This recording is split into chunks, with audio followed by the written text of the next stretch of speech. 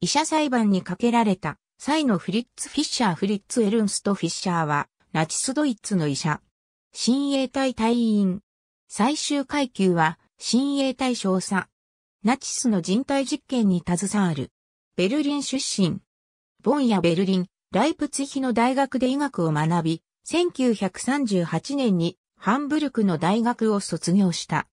1934年に親衛隊隊員となる。1937年6月に国家社会主義ドイツ労働者党に入党。武装親衛隊のホーヘンリュッヘン病院に親衛隊中尉の医師として勤務。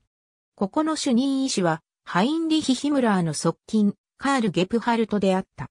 1940年にライプシュタンダーテ SS アドルフ・ヒトラーに軍医として従軍。しかし負傷したため、すぐにホーヘンリュッヘンに戻された。さらにラーフェンスブリュック強制収容所付きの医師となる。カール・ゲプハルトが同収容所で行った人体実験の助手役を務めた。